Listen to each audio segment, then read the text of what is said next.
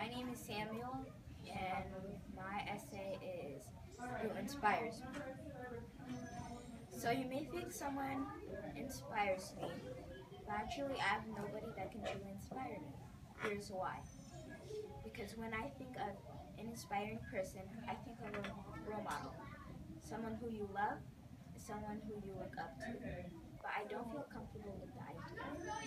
Because when I succeed in the future, I'm going to realize I'm trying to be like someone else instead of myself.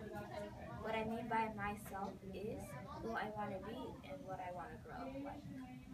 For example, I want to be a comedian that can make you laugh for joy.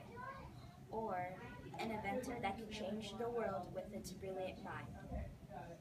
Or even have, be an actor and have, be the star of my own TV show. Either way, I would want to do it my way. My, my way would be having my own talk show. Having my own talk show, interviewing people, and making my audience laugh. Or, or have a big CEO company and work with a big time inventor like Bill Gates. Or even be the own star of my own TV show and win an Oscar. I don't know if I'm going to do either of those or something else, but what I do know is I really want to do it my way, which makes me unique.